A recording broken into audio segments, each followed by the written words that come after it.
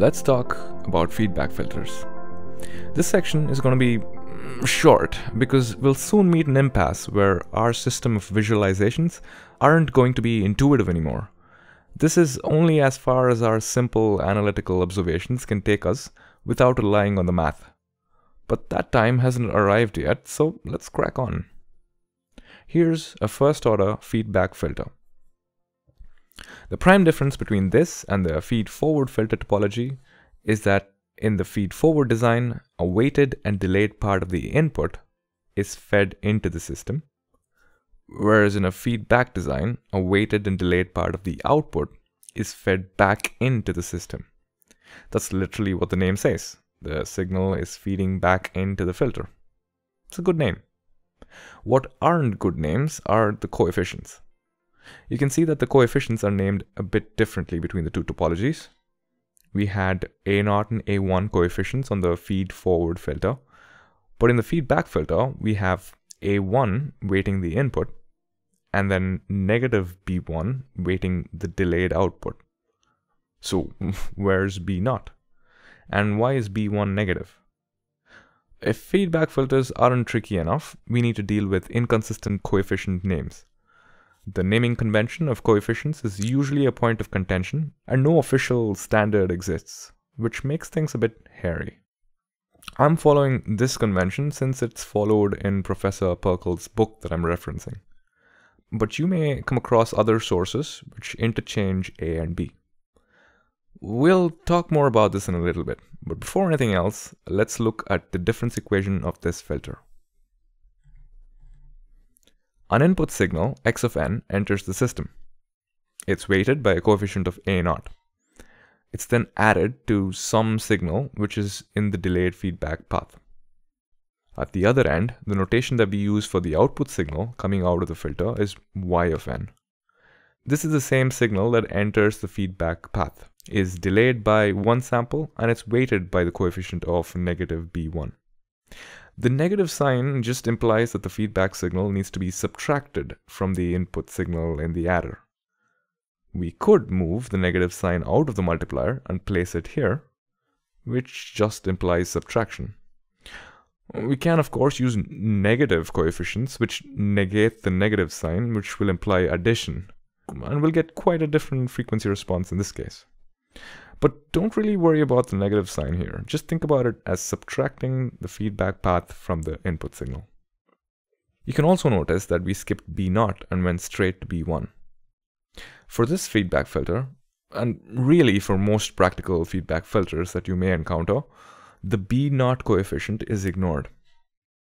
In other words, if you like symmetry, you can consider a multiplier of 1 in the place of the coefficient of B0, but the short answer as to why B0 is ignored is to keep the filter design simple and to achieve a particular filter type or characteristic without complicating the implementation, and also for reasons of stability. The long answer is more mathematical, of course, as it more often is. B0 as 1 is not a strict requirement, but most general purpose filters like the Butterworth, the Chebyshev, uh, the Elliptic, they all ignore B0. Moving on, the placeholder W of n is basically the input signal X of n subtracted by the feedback delayed path B1 times Y of n minus 1. And this is the difference equation of the first order feedback filter. An intriguing thing to note is that the output Y appears on either side of the equation. Now, for the fun stuff. Let's see what the frequency response of this filter looks like and what effects it has on an audio signal. I'll boot up the handy diagnostic plugin that I've written in JUCE, the link to which is in the description below. You can also clone the repository and build it locally if you want to try it out yourself. We'll set the A0 coefficient to 1 and just vary the B1 coefficient here.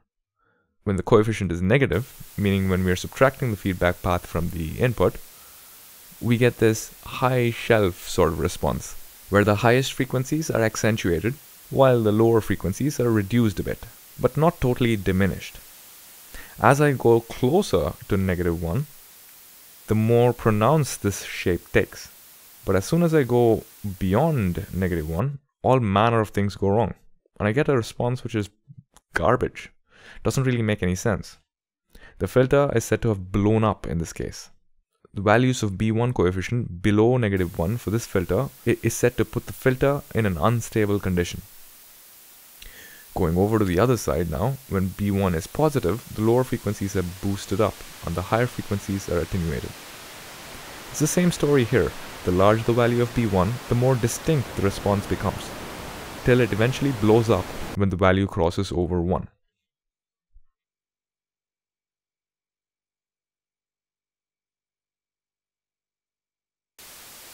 The coefficient A0 acts almost like a general gain control of the filter here.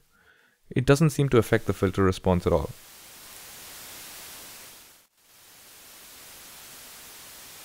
I'm not even going to try and explain the phase response here because I don't really have an intuition for why it is the way it is.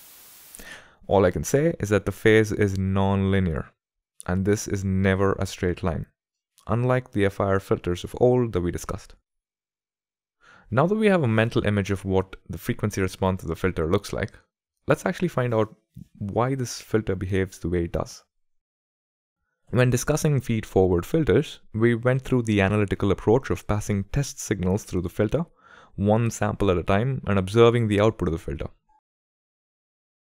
We are not going to do that with feedback filters, simply because the act of recycling the output back into the input keeps the signal varying for a while before it stabilizes, and the whole process becomes tedious and cumbersome, especially when the B1 coefficient values are closer to 1. So what we'll do instead is visually see the time domain response of the filter over several samples. We know from the plugin demo, the interesting frequencies to test are the very low frequencies and the very high frequencies. The frequencies in between are not very interesting for analysis, so we'll skip those. So, the lowest frequency, 0 Hz. We have a DC signal or a step signal whose value starts at 0, steps up to 1, and stays at 1 indefinitely. Since there's no periodicity in the signal, it's a 0 Hz signal. If you pass this signal through a first order feedback filter with A0 as 1 and B1 as negative 0.5, we get the following output. The feedback path fit, puts 50% of the output back into the input at each run, and hence the output signal oscillates for a while before it settles down. Here, the samples never actually settle down to a stable value. It'll infinitely vary, but the variance gets smaller and smaller as more time progresses. So there's no steady state really. Also, after some time, the output resembles a DC signal with a lower amplitude uh, than the input. And that's what we saw in the frequency response for this set of coefficients. The lower frequencies are attenuated. Let's try that with the Nyquist signal as the input this time.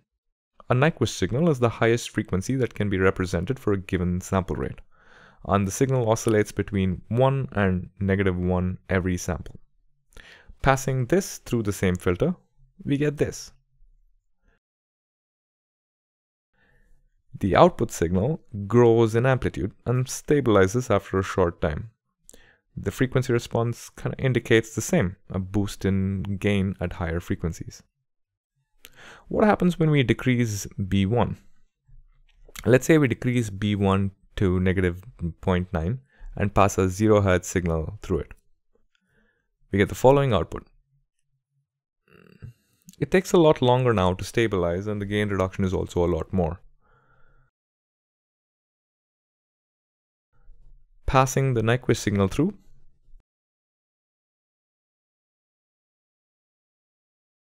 The same pattern.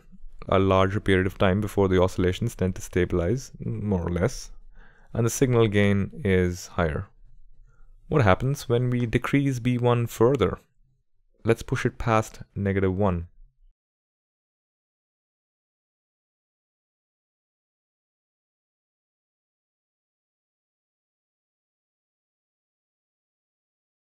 Uh-oh. When the multiplier of the feedback path goes beyond 1, the feedback path is in control, and that completely destabilizes the system. more than 100% of the output is fed back into the filter at every cycle, and that's unsustainable. The signal never reaches any sort of steady state, it just keeps growing indefinitely. When B naught is equal to negative 1 or beyond that, the filter is said to be unstable. And frequency, the, the frequency response associated with this is absolute garbage. The frequencies are driven to infinity. And if the filter isn't muted during these conditions, you get a large and uncomfortable explosion of noise. It's not pretty. So feedback filters are unforgiving under certain circumstances. Unlike feed-forward filters, which are always stable no matter what the coefficients you choose, feedback filters can grow unstable and blow up in your face. For higher order feedback filters, the complexity of interactions between the different signal paths increases and, and the coefficients cannot just be chosen at random anymore. That will be a recipe for disaster. So you'll need a mathematical model for choosing the coefficients safely. More specifically, you'll need to examine the filter characteristics in the z-plane and ensure that the poles of the system are within the unit circle of the z-transform. Now, that might have sounded like utter nonsense to you, or maybe not. But the whole premise of this series was to not get into complex mathematics. So I won't be. But as I mentioned at the start of this video, for designing feedback filters, we have no other choice but to delve deeper into denser mathematics. And hopefully, this course can serve as a motivation for further inquiry. Let's take a look at what happens if the coefficient b1 is positive, meaning that we are adding the feedback path rather than subtracting it. Again, we have the mental picture that this will cause lower frequencies to be boosted and higher frequencies attenuated. So with DC signal as the input and B1 as 0.5, we get this. Swapping the input out with the Nyquist signal, we get the following output signal. Is this something that you were expecting? Does it make intuitive sense? The time domain output signal kind of correlates with the frequency domain response of the filter for individual frequencies that we are observing right now. Let's crank up B1 up to 0.9. First, the DC signal, and then the Nyquist signal.